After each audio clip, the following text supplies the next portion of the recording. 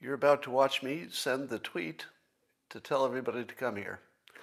But because I have one of those computers that uh, takes a long time to turn on, screw it. I can't wait. My attention span is so low right now. So, bum, bum, bum, bum. Are you ready to uh, have the simultaneous sip? I know you are. I know you are. And by the way, if this is the first time you've ever joined this live stream, wow, are you lucky. You, you found the best one. Today is the best live, screen, live stream you've ever seen. And I can pretty much guarantee that right after I send this tweet. You won't mind waiting, do you? Talk among yourselves. There'll be a lot more people once I send this. There we go. Work done. Now, if you'd like to be prepared for the best live stream ever, all you need is a cup or mug or glass, a tankard, gels, a stein, a canteen, jug, a flask, a vessel of any kind. Fill it with your favorite liquid. I like coffee. And join me now for the unparalleled pleasure, the dopamine hit of the day, the thing that makes everything better. And it happens every time, all over the world. Right now, get ready for the simultaneous sip. Go. Good work, Ken. You got here on time punctuality will be rewarded.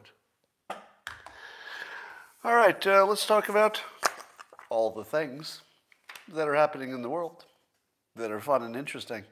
Oh, yeah, there's a whiteboard behind me. You thought it couldn't get any better, but it can.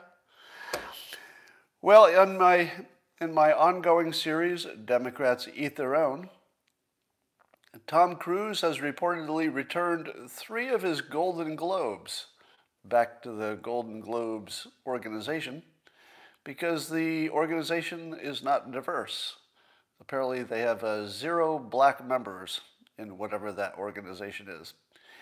And I could not be more amused at watching the people on the left set standards for themselves that they cannot achieve.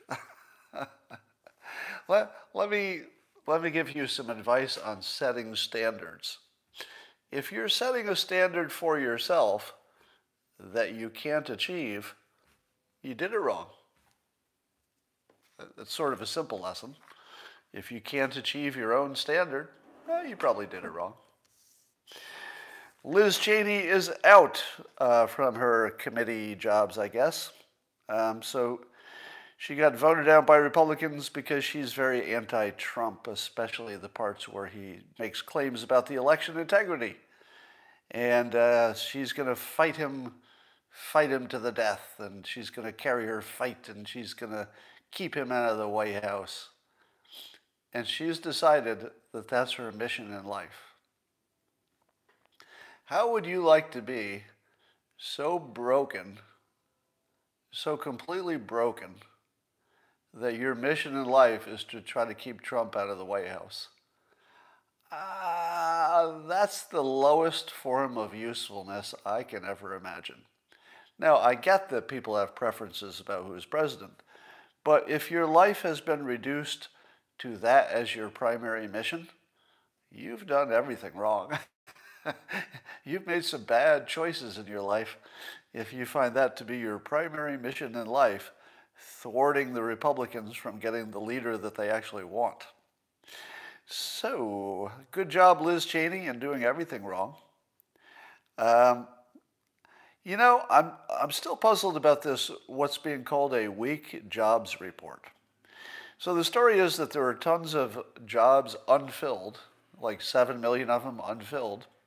At the same time, there are lots of unemployed people. So there's not a good match between the workers who want work, or maybe they just like their stimulus checks better than working, and the job openings. And I'm thinking to myself, are we not at the point where it would be way more economical to help people relocate and train them if that needs to be done as well? Because it feels like the problem is relocation, isn't it? For example, you know, when there were lots of oil jobs in, where was it, North Dakota?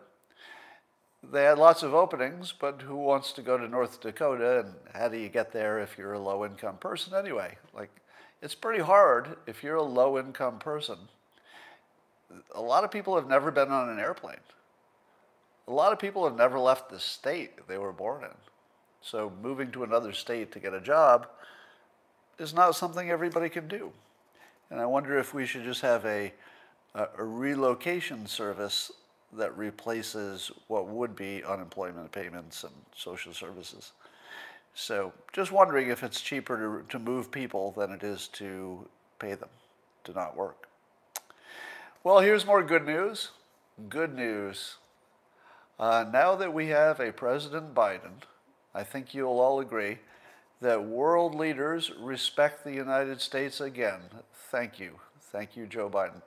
And one of the things we can be sure of is that behind closed doors, those other leaders, they never say anything unkind about the capability or the verbal competence of our new president.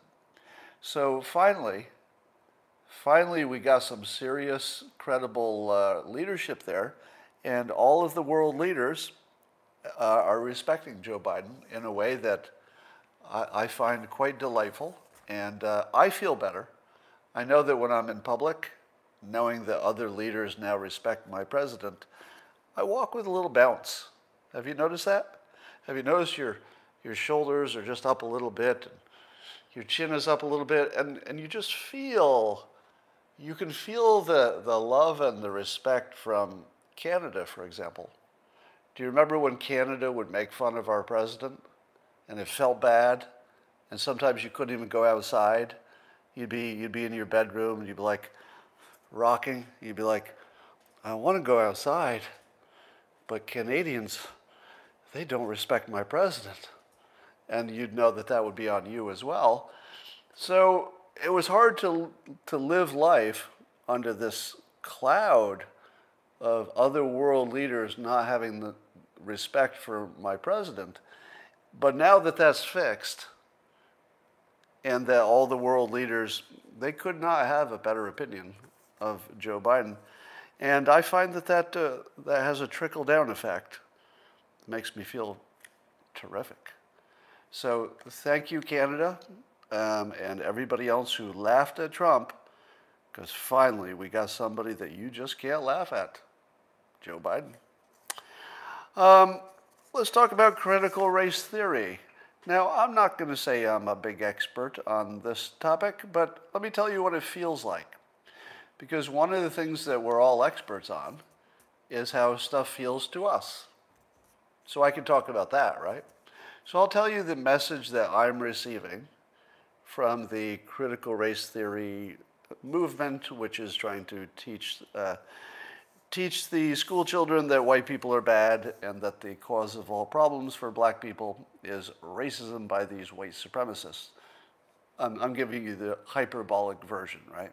So obviously there's more nuance than that. Now, here's my problem with it. It seems to me that if the, the basic thrust of critical race theory is that white people suck, you know, again, that's a little hyperbolic and I'm summarizing, but it's basically white people are a historical problem and they continue to be, right? So it's at least racist against white people, and I feel that that's just objectively true. Because if you, if you carve out any group and say this group has too much privilege or this group has whatever, it's racist by definition.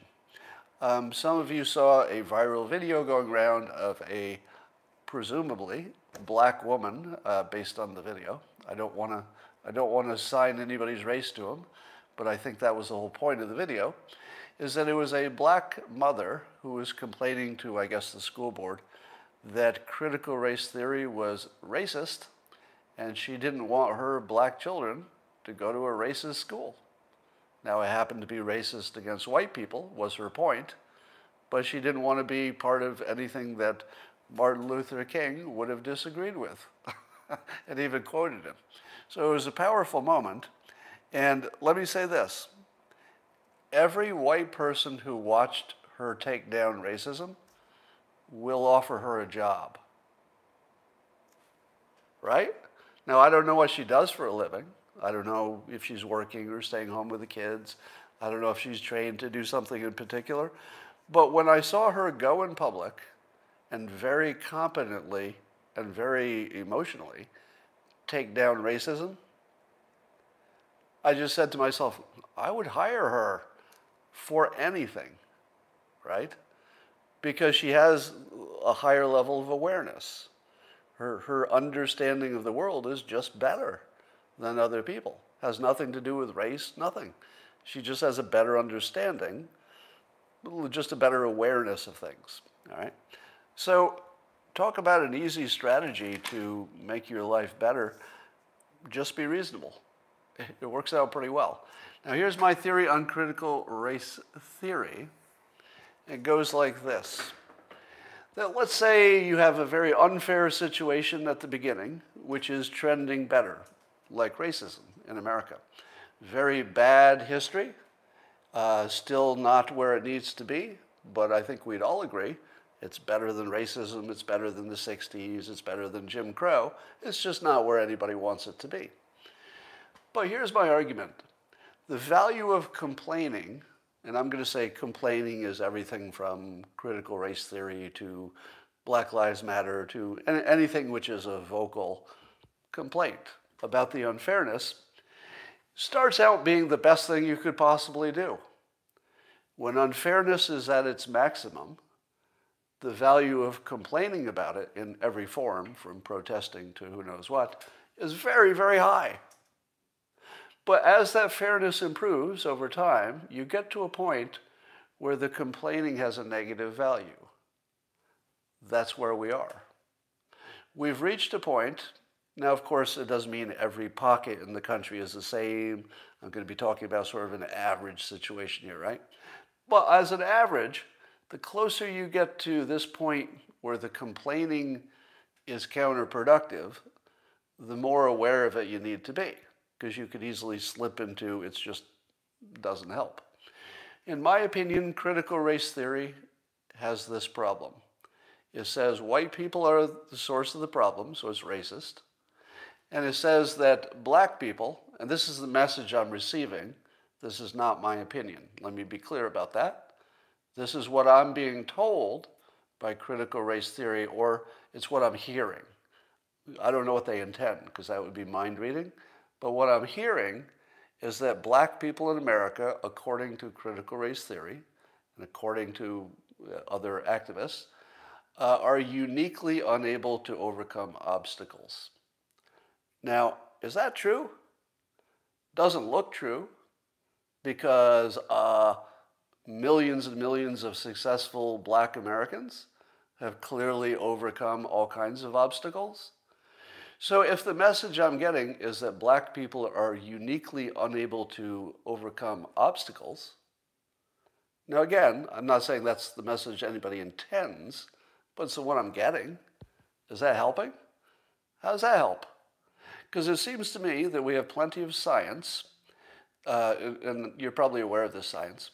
If you take young kids and you divide them into two groups randomly, and you tell one group that they're very smart and you tell you don't tell the other group anything. They they're just regular students, control group. The group that you tell are smart will get better grades than the ones you didn't tell are smart. Children are programmable. They become what you tell them they're going to become. What happens to a black kid who gets exposed to critical race theory? Does the black kid say, Oh, I'm in a world full of obstacles. I guess I won't be that successful because the world won't let me. Don't you think, without, without the benefit of seeing a study specifically on this point, don't you think that with everything we do know about how kids are programmed by expectations, don't you feel it's hurting them? If you were a black kid and you learned that you had obstacles that were unique and that you alone, you know, your group, will be held back in a way that's different from other groups, because you can't overcome your obstacles, but apparently Asians can. What are you going to think about your abilities? I feel like you're not going to do as well. And if the whole point is doing better, it feels counterproductive. So it seems to me that critical race theory is double racist. It's racist against white people, which it demonizes, and it's racist against black Americans because it assumes there, there's sort of an implication there, without being stated, obviously. There, there's a feeling or of an implication that black people can't overcome obstacles. Because there's nobody in the world who doesn't think they have obstacles. Like, I, I'm doing pretty well at the moment. Do you think I had any obstacles? I don't know if anybody knows enough about my life, but do you think I had any obstacles? Of course. And everybody thinks they have obstacles, I assume. But they're different, right? So, you know, Obama overcame his obstacles, right? Every, every famous black person you can think of overcame obstacles. Every successful black person overcame their obstacles. So telling kids that they've got obstacles that are unique to them that they can't overcome, it's got to be the worst thing in the world. It's got to be counterproductive. And we have to recognize that you need to change your technique when you get close to fairness, even if you haven't achieved it, right? As soon as you get close to fairness, you need to take the meat cleaver away and get out the scalpel and see if you can figure out what's going on.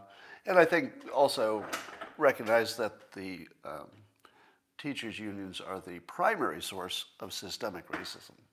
If we get that right, we're in good shape. Really, just one thing we have to get right is understanding that the school system is what's keeping anybody poor back, no matter your, no matter your ethnicity. So that's my take on that. Um, and I, I want to make this point clear that if you had a choice between being completely, uh, uh, let's say, transparent and honest and factual about somebody's history, so really honest and direct and factual, or, or strategic. Which one is more likely to, to work out for you? The thing that is totally true, but makes everything worse, or the thing that might ignore a little bit of truth, but it's strategically designed for advantage. Always go for the strategy. Always go for the strategy. I was saying that about uh, Chappelle, Dave Chappelle, that he, you know, he said the other day that he's a fan of tactics. Tactics. Why is Dave Chappelle doing better than other people? you know, white or black? He's doing better than most of us, right? And, you, and, and he, he explained it in one word tactics. If you looked at Dave Chappelle's life, and I don't know much about it, I almost guarantee you would see that his tactics got him where he is, his strategy. I'll bet. I mean, I don't know. But since he favors tactics and he succeeded, and we know that working on tactics helps you succeed, probably, probably. That's and I feel that's like why he's, you know, one of the more useful, valuable voices. Kanye, the same thing. Uh, Kanye looks, looks to me from the outside like a systems person, a tactics person, you know, a, a, a real, uh, let's say, a student of success. And those are the voices I think are the most productive. Um, I'm feeling as if July 4th this year will actually be Independence Day, whereas last year, not so much, right? And specifically, I think that might be the time when the people take power back from the government on some of these questions of masking and distance and what should be opened, etc. And uh, here's my suggestion. I think the public needs to set its own deadlines. I think it's great that the, that the government has something like deadlines because that gives you an idea what they're planning, right? So it's good that the government gives us some deadlines. And I think it's essential if you're in an emergency, if you're in a crisis situation, I do think it's essential that you take your lead from the government. But once you get on top of a problem, and we're, we're at the cusp of being on top of coronavirus. Once you're on top of it, I feel at that point the, the people need to leave, lead the government. And I believe that the people need to set their own deadline. It's great that the government set a deadline, and I think that there are different ones for different locations, whatever. But I feel like it's time for the public to somewhat collectively, if we can, you know, self-organize around it, to set our own deadline. So while the government is setting a deadline for the people about masks and distancing and stuff, there's nothing that would stop the people for setting a deadline for the government, right? But would you say um, July 4th, if you're vaccinated, the masks come off? What about that? or, if you prefer, if you're, um, if you're vaccinated, you can, let's say, eat in the restaurant. Uh, but if you're not vaccinated, take your chances. It's your choice. I feel like uh, Independence Day is just about the right point. Can I get some feedback here on whether that seems like the right date? I, I want to see if you feel it. Because I've also said that we need, a, we need an Independence Day. This, this uh, coronavirus is like a, a war. I mean, it's exactly like a war in the sense that there's specific enemy and it's attacking and killing us and we're attacking it back. I feel like we need a celebration that the war is over and I don't know that our government's going to offer it. Feel like maybe we got to do it ourselves. What better day than Independence Day? Now, I don't want to do anything that is counter to the science. Let's talk about the science. uh, I'll, maybe uh, I'll lead into this with a few other stories. Um, is there an asteroid heading toward the Earth to destroy us? And the government knows, but we don't? Now, I don't have any information about that. But I'm trying to understand why we're not concerned about the national debt. Has anybody figured that out yet? Is there some reason we're not panicked about the national debt? Now, there are a couple of possibilities. One is that national debt is not like you imagine it to be, like personal debt. It doesn't operate the same. So maybe we just don't have a big problem. It just feels like it. So that's one possibility my, eh, eh, my economics training tells me maybe that's true. That maybe you can just inflate your way out of it if your economy's strong enough and you have nuclear weapons, and maybe you just don't ever need to pay it back. And I don't know. Maybe it's just not a problem. Maybe it's a one time massive transfer of wealth from the rich to the poor. Maybe, I don't know. But if it's a gigantic problem and our government is not working on it, I would have to ask myself why. why are they not working on it? Do they know? Um, do they know that a giant asteroid is heading to the planet? Because the only reason I can think of for the, for the government not to be panicked about the debt they're creating is they're either, I don't know, in cognitive dissonance, um, they're in denial. They know a, an asteroid is going to destroy the Earth in five years anyway, so it doesn't matter. None of it makes sense, does it? Yeah, or the rapture is coming. Bring on the asteroid, somebody says. I feel like that sometimes. Let's talk about Putin and that uh, pipeline. So, reportedly, and certainly not confirmed, there is allegedly a group of Russian hackers or Russian affiliated hackers that uh, are not necessarily part of the government, because they're a rogue criminal group allegedly operating in, so, in Russian territory. And they're allegedly behind this pipeline hack that's essentially uh, an attack on the homeland. Here's my take. This sort of needs to be Putin's problem. And if it's not, we need to make it his problem. Like, we really need to make it his problem. because this feels a little, little bit like the Soviet Union putting missiles in Cuba. There's sort of a line that you just can't cross with the United States. And I feel like uh, it doesn't matter to us, or shouldn't, whether Putin is uh, directing this criminal group or if he doesn't even know who they are or where to find them. I don't think it matters. I think you have to punish Putin exactly the same, or you know, sanction Russia, whatever. Uh, I think you have to sanction Russian, Russia exactly the same, whether Putin knows where these criminals are or not, if we've determined that they're in Russia. Now, we'd have to be pretty sure. But I don't think you let him say, I don't know where they are or they're operating independently.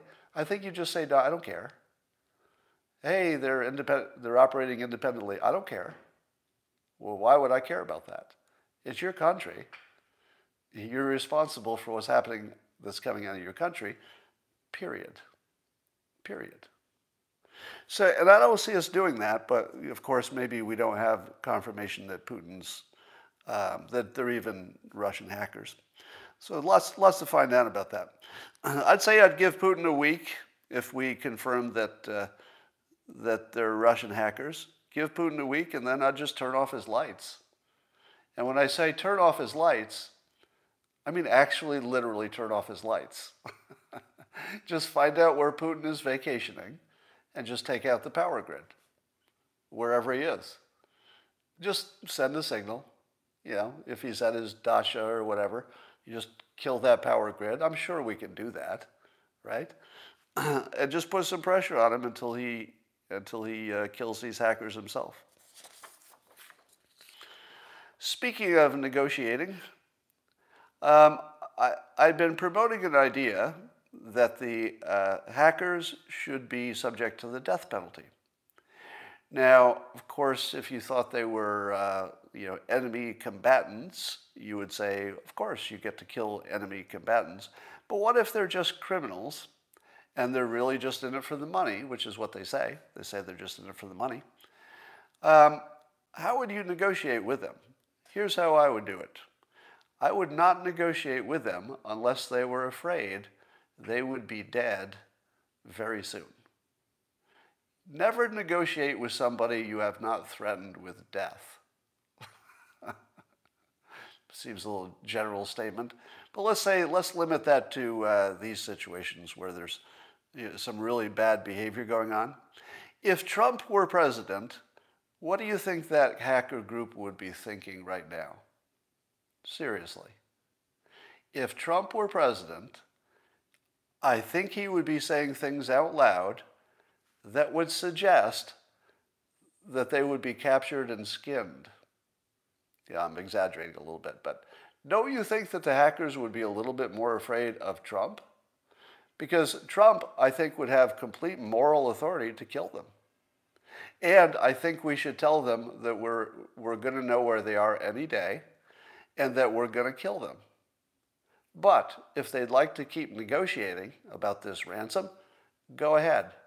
But you better fucking hurry because you got about 24 hours until uh, a missile hits your shack. Maybe. Maybe. Now, let me ask you this. If you were a hacker and you heard the President of the United States tell you you'd better settle this in 24 hours or a missile is going to take out your shack no matter where it is, we're going to kill you in 24 hours. Maybe don't put a date on it. It would be better if you said really soon. We're closing in. We definitely can find you. We have sources already. The, the amount of time you have to remain alive is shrinking, shrinking, shrinking. By the way, do you still want to ask for just as much for your blackmail? Because we might, we might back off if you make a deal. And I'd lower that price quite a bit Lower it, lower it, lower it, lower it, or you're dead. Lower it, or you're dead. That's how you negotiate. Do you know how we're negotiating? Uh, the United States doesn't uh, give advice to private companies. Complete losers. Total, absolute, stupid, pathetic, incompetent negotiating. We're not negotiating with a credit union. We're, we're negotiating with fucking terrorists. And we're not even threatening them with death. Are you kidding me? Death should be the first word out of our mouths. We should say, Death is what you'll get very soon. Death. If we're not talking about killing these fuckers, we're not even trying, really. We're not even trying. Now, should we kill them? Well, that's a different question. I'm only talking about negotiating. A separate question is can you find them and can you kill them and is it legal? Those are good questions. I'm not even talking about that. I'm only talking about negotiating. If you have not put out a credible threat that these assholes will be dead by the end of the week and make them believe it, you're not negotiating. You're not doing anything. You're not even playing the game. And it's a credible threat. I would think that I can't imagine any hacker thinking that they're completely safe, right? They might be technologically completely safe, but you always have human human intel. There's always somebody who talked to a spouse. There's always somebody who delivers things to a place and might know something, right? There's no, no such thing as being completely safe if you're a hacker. Uh, we, didn't they pick up whoever hacked uh, Hillary's email allegedly? How do we find that hacker? How do we find any hackers? I always wonder about that. All right. CNN is uh, trash talking uh, Biden's CDC, um, yeah, the CDC for not being scientific. And I was thinking about how many things has the CDC gotten wrong that I got right. This is important because we're asked to follow the science, right? So let, let me just give you a li list of the things that the CDC got wrong following the science, allegedly. and so far, at least according to me, I got right.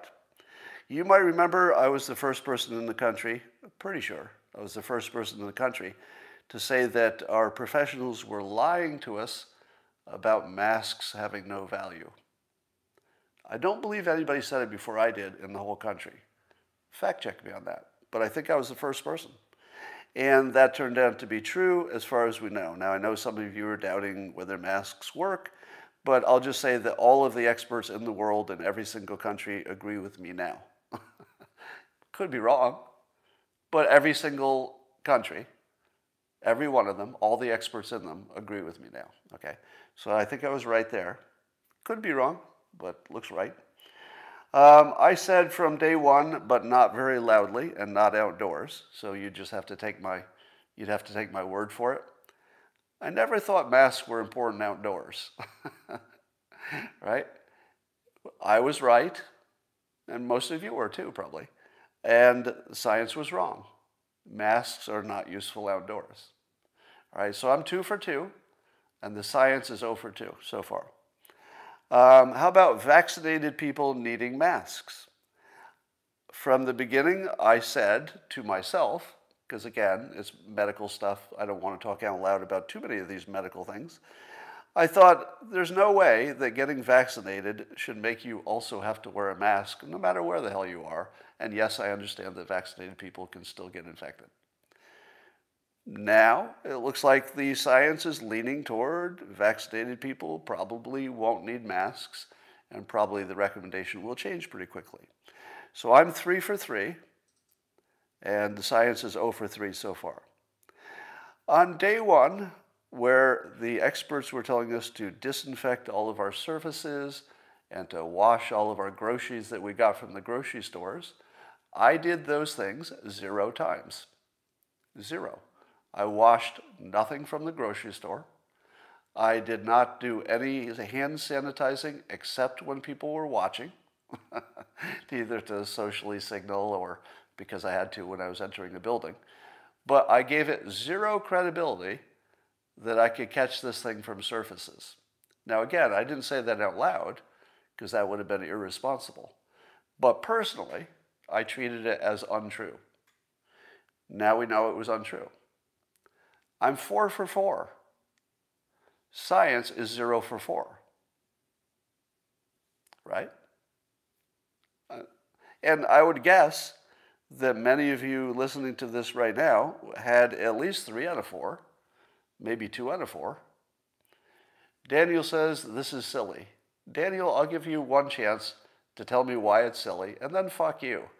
You don't make comments like that without a little, just a hint of what you're talking about. Is it silly because it's obvious? That would be a fair thing to say. Is it silly because I'm wrong? And then maybe give a reason. That would keep you from being banned forever from this valuable uh, broadcast. Um, so Sanjay Gupta was, you know, giving the CDC. Oh, here's another one. How about opening schools? I was on the side of I think we should open schools if we know that kids are not going to be the big problem. And yes, I understand they could bring it home, but now people are vaccinated if they wanted to be, so we should open schools now. Who's right? Me or science? you already know, all right? I'm right. So I'm five for five on science. The scientists are zero for five. Am I wrong about that? I, do, you, do you think I'm lying to you about the ones that I didn't say publicly, that they were my beliefs? I don't really have a reason. Well, I suppose I'd have a reason to make myself look good, but I'm not lying about it. I didn't make it up. I'm five for five, and the science is zero for five. That's just a fact. All right. Um, so here are the things we know for sure. Three things that all of us know. Number one, we should follow the science. Am I right? We all know that. You're paying $10 to encourage me to ban Daniel. I think I found a new, uh, a new, a new revenue source. I, I get people to bribe me to ban people who are watching this. No, I'm not going to do that, but it would, it would be funny. All right, so we know we should follow the science. We all agree with that. I mean, that's just obvious. Number two, we also know that our institutions lie to us about the science. A- any argument? No argument, right? We know that the government told us the food pyramid was true. I just gave you all the examples of institutions lying to us about the coronavirus. So we should follow the science and our institutions lie to us about the science. Therefore, following the science is the same as following bullshit for all practical purposes. Because if you followed all the science this year, you would have been following bullshit. So we've all accepted these, these three ridiculous things. We should all follow the science. Our institutions lie to us consistently about what the science is. And therefore, the only conclusion one can make is that what we're really doing is following bullshit. And we're pretty happy about it. Yes. We're, we're the smart people. We follow the bullshit. Yes. I, I'd sure feel bad for those other people who are not following bullshit. Like, I guess they're science deniers. Here's how you control the public in three steps. Number one, persuade the public that following the science is absolutely required of all smart people. And if you don't follow the science, you're, uh, you're just garbage. So that's the first thing. Make sure the public thinks that following the science is just something you have to do.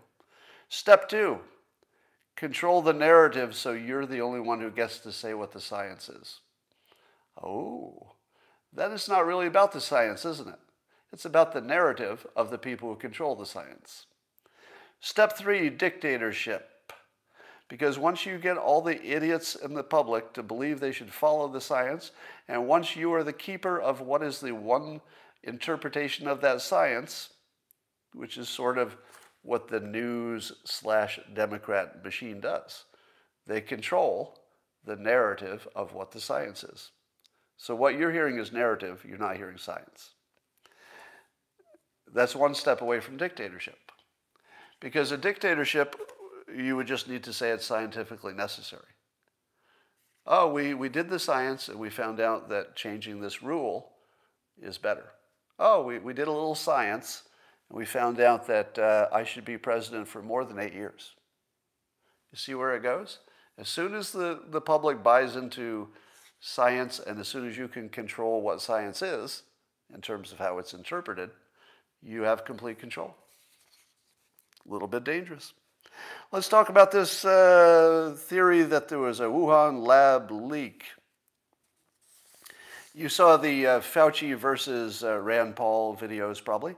Rand Paul challenging Fauci for uh, allegedly, uh, I think Rand Paul used the phrase that uh, Fauci favored gain of function research in China.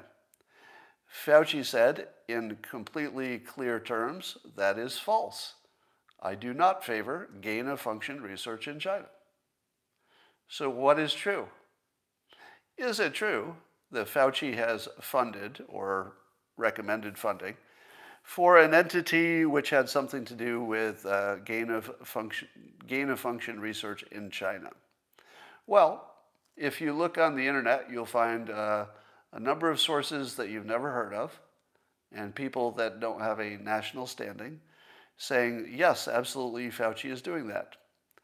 I don't believe there are any major publications that are reporting it. Are they?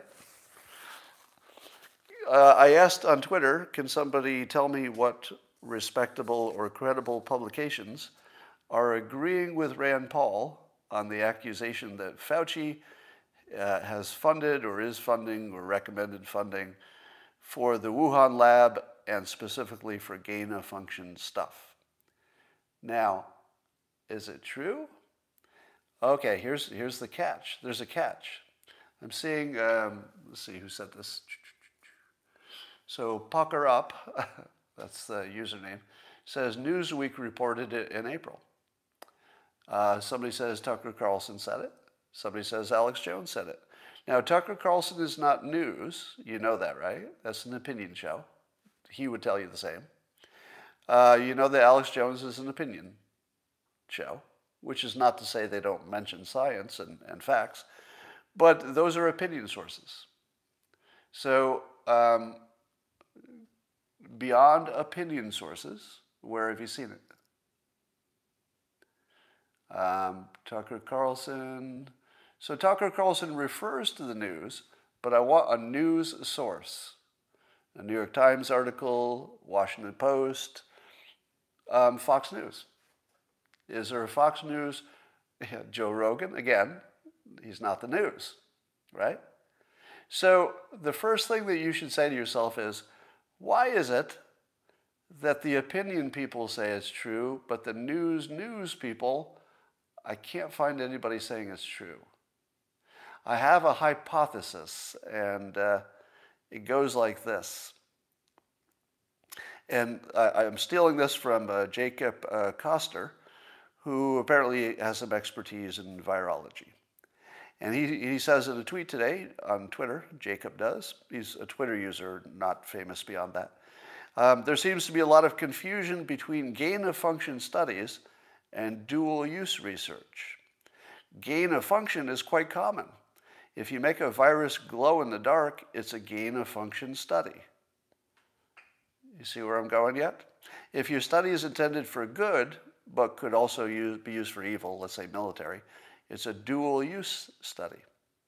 So when uh, Rand Paul uses the phrase gain of function, what do you think he's talking about? Don't you assume that when Rand Paul says gain of function, that he means military weaponization of a virus. That's what you assume, right? Did you know until just now, because I learned it just now, I learned it an hour ago, but did you know until I just told you that gain of function just means making the virus have some extra features that isn't necessarily related to anything military? How many of you knew that? in the comments, I'm seeing some yeses. So you were uh, better informed than I was. Saying no's, I didn't. I see some, well, more yeses than I expected. This is a well informed group. Uh, relative to the country in general, I'll bet, I'll bet my followers here are far more well informed. Yeah, so you're seeing a lot of no's. Here is my hypothesis.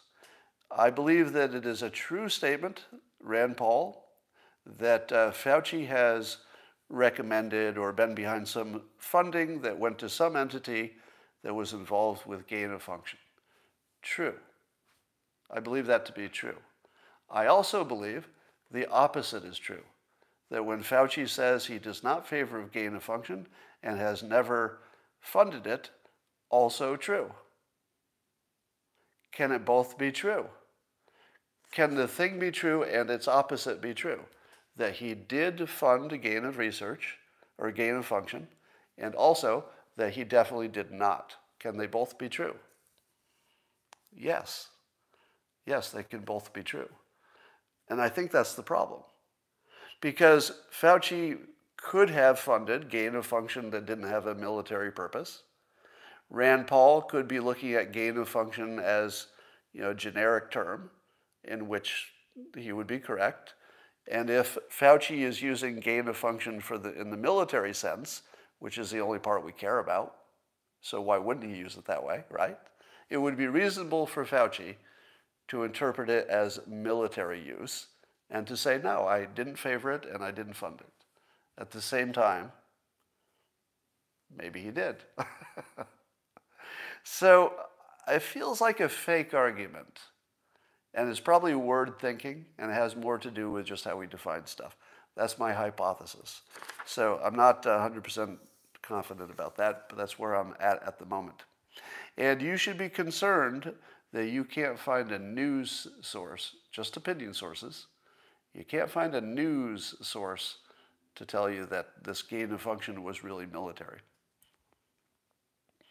Um, and then the other gray area is if you do gain of function research for the purpose of defending against future attacks, in other words, just to understand what could be out there, um, I don't know, is that, is that the same as gain of function to weaponize a virus? Because you have to weaponize it to defend against it just to know what you have. I don't know, it's a gray area. I got a question for you. So Ilhan Omar uh, as recently as yesterday, tweeted again that she believes the Fine People hoax. Here's my question Is Ilhan Omar now so isolated from you know, mainstream people that she actually doesn't know that was a hoax? I mean, in 2021, you should all know that the Fine People thing was a hoax. And it was a, a RUPAR. A RUPAR uh, involves uh, an edited video in which if you see just the edited part, you're 100% sure you know the story. But if you see the rest of it, it completely reverses the story. That's a Rupar. Now, I don't think that uh, Ilhan Omar, I don't know that she knows it's a Rupar, which would be really scary because it's general knowledge now. And it would suggest that she's not part of the, she's not connected to anybody normal. Now, remember, Biden used to say the fine people thing in his campaign, and he said it all the time, but he has stopped saying it. And it's been so long since he said it, I feel like we can say he stopped saying it. And the, the reporting on Biden is that he doesn't like to say things untrue. So when he gets fact checked, he actually stops saying stuff. Have you heard that? So unlike, unlike Trump, you know, whether you're a fan or not a fan, it is simply true that when Trump got fact checked, it didn't really change what he ever said after that. you know, whether the fact check was true or false, he just did what Trump was going to do. But there is, um, observationally and reportedly, Biden does stop saying things that are untrue once he's sure they're untrue. And I feel like he found out even that the Fine People hoax is untrue, otherwise, he'd be saying it. And because he does talk about white supremacy all the time, and it would be the obvious thing to throw in there if he still believed it. So I think Omar is so isolated that she doesn't even know what other Democrats know at this point. Now, I don't even see too much the left leaning news use that Fine People hoax as much. So I think they've gotten the message, but maybe it gets to her last. All right. Um, Jennifer Lopez and Ben Affleck are back together. That's the big news. Let me ask you a question. We don't know if this is true, but reportedly, when Jennifer Lopez was engaged to get married to A Rod, during her engagement, she was emailing back and forth with her ex, Ben Affleck, whose emails reportedly, and who knows if any of this is true, but reportedly were along the lines of him wanting to get back with her. Now, assuming that Jennifer Lopez was participating in the email exchanges, as opposed to simply reading them and saying, you know, hey, hope you're having a good day, was she cheating on her? Was she cheating on her fiance? In the comments, I want your opinion. If it's true, and I would put a low likelihood that we understand the situation, so don't assume it's true. I, I wouldn't want to be the one who suggests that it's true, because the celebrity reporting is 85% false.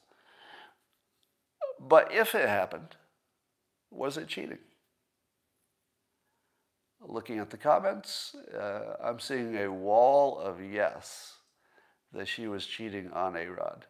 Now, I believe that A Rod's alleged infidelity was reportedly the problem. I feel like they were both cheating. Now, you could say to yourself, well, it wasn't physical, and she didn't say, I, wanna, I love you or I want to get back together with you with Ben Affleck, and that might be true. But if she was keeping the exchange going, in other words, if she was, if she was uh, answering him in ways which would suggest she was welcome to another email in return, I feel like uh, she was cheating on him. Was she still married to Affleck? No. She never married Ben Affleck. Uh, she was reaching out to him because A Rod was exposed maybe. But at that point, wasn't she cheating as well? Now, it's a different kind, right? It wouldn't be physical in that case. Um, oh, here's a question. Uh, Cold Steel fanboy asks, she cannot have a friend. Well, is your ex who keeps telling you he wants to get back together with you, allegedly, we don't know if that's true, but is that just a friend? I would say if you're talking to an ex and, and either one of you is talking about getting back together, you're cheating. Sounds like cheating to me. All right. Uh, let's talk about uh, Israel versus the Palestinians. Do you believe that uh, we would be seeing this level of violence over there right now if Trump were president? Do you think that Trump's more full throated support of Israel uh, would have made the Palestinians less likely to do what they're doing? It's hard to know. But I feel like uh, Trump plus Netanyahu were too scary together for the Palestinians to make a move.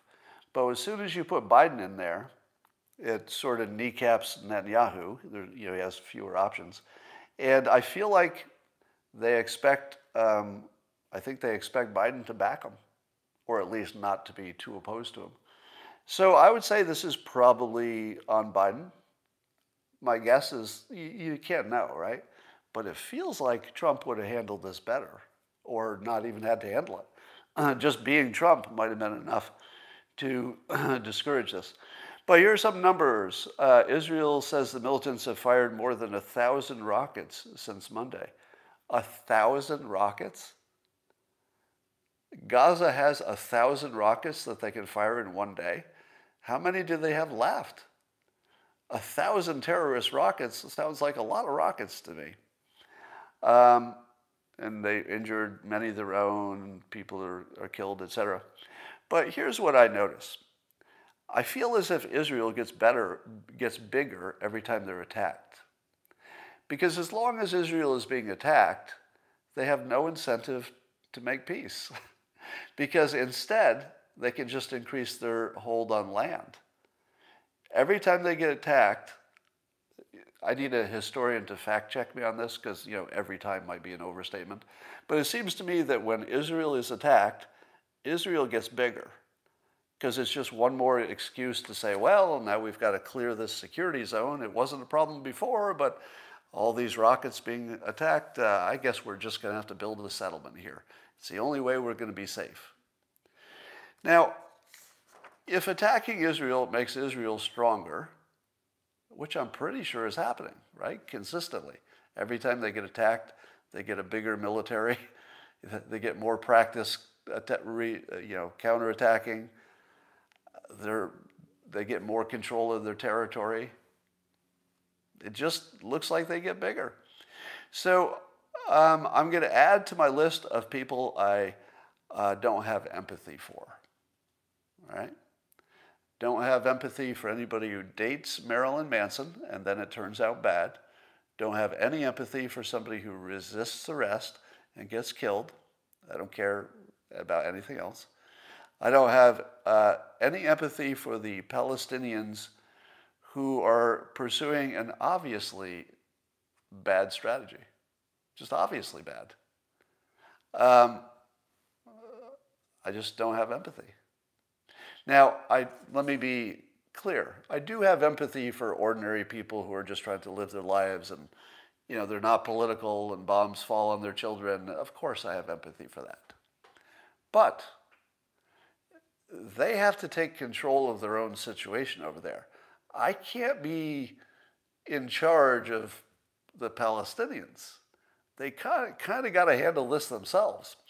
and they have the biggest opening anybody ever had in the history of openings. The Palestinians could simply say to the world, look, you know, we'll, we'll stand down, but we need $500 billion. And then we'll dismantle our military. We'll just work on, you know, building up our own world. Uh, we won't worry about Israel, but we need, you know, $500 billion. Do you think that they could get $500 billion? I'm just picking a big number, so whatever the number is. I think so.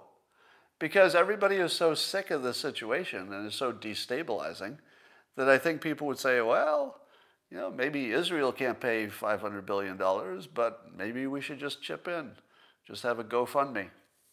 If the Palestinians set up a GoFundMe account uh, in return for giving up their weapons, and said, for example, if it reaches 500 billion, we'll lay down our weapons. now, it's not practical, I don't think. But if you give somebody such an easy way to make their life better and they won't take it, I, I just can't care about it. So I would say that uh, Israel is doing exactly what they need to do. Um, you know, there's talk about it escalating into a major war. Well, it should, shouldn't it? Shouldn't the Palestinian situation escalate into a major war? It should. Now, I'm not saying I want it to, but I don't know how they're going to solve the problem without that. How would Israel ever solve this without a major push, including ground troops and, and pretty massive destruction? I feel like that's where it's heading. And, you know, I feel sorry for the people who are not political, but got to take care of yourself. Um, uh, Hamas controls and buys support of, yeah. Yeah, there's, there's a lot going on, over there that makes it impossible for progress to be completed. All right, I'm just going to look at your comments for a moment. Derna says, Palestine receives billions in aid every year. The reason for the violence is the leaders uh, they want first dibs on the money. Yeah, you know, you have a problem every time your leaders have different incentives from the people they are leading. I think the Palestinian situation is one of those. Um, I, think it's a situation where the leaders don't have the same interest as the people. And then you can never get an outcome because the, we, the leaders want the leaders want conflict. That's what gives them their power. So I don't expect that with the current leadership there's any chance of the Palestinians doing well. Joe says, I can't believe the people tolerate Israel. So you've got some anti-Israel people here. Um, well, you know, I have to I have to admit that my opinion has uh, evolved on that. There was a point when I would think to myself, "Hey, this looks very unfair. It looks like apartheid, etc." But when you get down to the practical element of it, the practical element is you shouldn't ask a country to do something you wouldn't do. And if, if I were Israel, I would do exactly what they're doing because it's in their national self-interest. So I don't know how you ask anybody to do something that's not in their national self-interest. So when I used to be, you know, complainy or critical of Israel, um, now I'm more likely to look at it and say, okay, what's in their national interest? Well, it's what they're doing. It looks like they're pursuing their national interest. If you look at the Palestinians and they ask the same question, are they pursuing their national interest? I'd say, no, not even close. They're pursuing some kind of psychological um, motivation that has nothing to do with what's good for the people. It's just unrelated. So if you watch one group pursuing what is obviously their national interest, eh, I'm pretty happy with that. If you see another group doing the opposite, well, no empathy. So rather than saying who's right or wrong, which I think is you know an impossible conversation, you know, saying stuff like uh, who really owns the land, there's nowhere to go with that, right? There's nowhere to go with who really owns the land. You know, if you want to solve things, don't do that. Useless, because that's just a power thing. But you can certainly say one country is pursuing their own self interest, which is what you'd hope for every country, and one isn't. That's fairly clear. Um, AA, you're high. So uh, you're talking to somebody else, I guess. It is not Palestine. All right, so that's what I call word thinking, Palestine. Um, if you say it is that Palestine isn't real or doesn't exist, that's word thinking. There's nothing there. We should just ignore you. Uh, that's not reasoning. That's just, I think I'll define the word this way. All right. Um, CM, Clary says, Scott isn't nearly as informed as he pretends to be. Well, fuck you. Uh, remove. All right. Um, I like Trump best when he spoke to the United Nations, encouraging all nations to yeah take care of themselves. Yes. Uh, Scott's airplane. No, we don't have any airplanes anymore. We uh, Kristina sold her airplanes. she had two airplanes. Uh, one she got in a in a trade, and the other one, um, the other one wasn't optimal for the kind of flying she does. Oh, oh why is being yourself bad advice? Yeah, I was, I was going to say the three worst pieces of advice in the world are um, the three piece, worst pieces of advice are be yourself, number two, follow the science, and number three, pursue your passion. Three worst pieces of advice. Quickly, be yourself is a loser philosophy. Be yourself means that you're still uh, shitting your diaper, uh, not learning to speak, and uh, being nursed by your mother. Does that sound like a good strategy?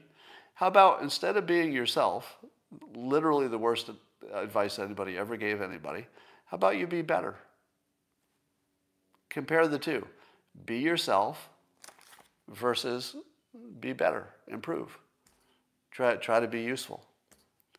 Being yourself is like a complete abdication of any responsibility to be a, a social human in the world, right? You should be trying to improve. Be yourself is uh, what every loser believes is a good philosophy. By the way, you'll never see somebody who believes this is true who's not struggling in life. Uh, number two, follow the science. I talked about that. We don't have that capability. All we follow is the narrative of somebody who's fooling us about what the science says. That's all we have. We, we can't follow the science. and the science is wrong so often that I'm not even sure it's, it makes sense. You know, the number of times science is wrong. Um, so follow the science makes no sense, but certainly review the science and consider the science and take the science seriously and try to try to triangulate and get different opinions on the science. That would make sense. But follow the science is stupid. Uh, there's no other way to say it. It's just stupid because you'd be following the narrative. You can't follow the science. And then pursue your passion. I talk about this in my book, How to Fail at Every, Almost Everything and Still Win Big. You should follow what makes you useful and successful. Um, if I were to follow my passion, uh, what would I be doing? Uh, well, nothing useful. it would just be following my passion. My passion doesn't have any practical, uh, practical outcomes. So don't follow your passion. That's for uh, losers. Um, if you can find a way to get rich and it also is fun and enjoyable and, and even makes you passionate, that's great. But I, I would submit to you that success makes everything look more fun, right? If my job were, uh, yes, and as uh, Carol, I think, is saying, science is not static. So what is science changes tomorrow, and which one do I follow? Yesterday's science, today's, who knows? All right. Um, somebody says, now I'm with you. Um, somebody just saw a wolf and her puppy run through your backyard. Wow. Are we witnessing the end of Western civilization? Well, we should. We, uh, Western civilization should end. Now, that doesn't mean it's going to be worse. But um, the only reason that it's Western civilization is that at one point things had not been as settled as they are now, so, so West meant something. Shouldn't we be a melting pot in which our culture is evolving? I don't think that a static culture is necessarily a positive. I think that an evolving culture is likely to be better if you're careful about how it evolves. You could evolve in a bad way or a good way, right? But I, would submit that evolving can be good and that I'd rather be an evolving culture than just always the Western culture and just staying that way. Yeah, and I would argue that Eastern culture has evolved quite a bit. So, um,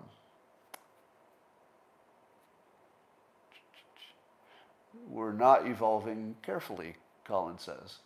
That may be true, but I don't think we're evolving in a dangerous way. Uh, we are going backwards. There's probably no time in human history where the current generation of older people did not believe we were heading backwards. One of the benefits of being my age is you get to live through a whole bunch of situations.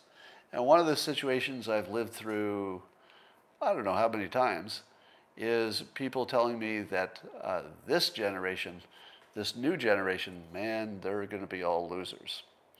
The last generation was great. My generation, terrific. But that next generation, oh, a bunch of losers. How often have people been saying that? I think that's been said since the time of Plato, right? Or Aristotle. I believe there's like some old Greek saying in which people were already observing that it looks like the next generation is going to hell. it never happens. It's never happened, probably never will.